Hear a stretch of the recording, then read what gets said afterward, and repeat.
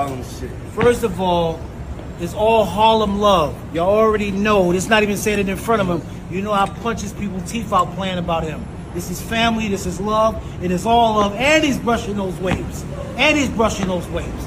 This is Booby Smooth Groundwork. Harlem, you already love, know what it is. Love, ain't nothing but love. Yeah.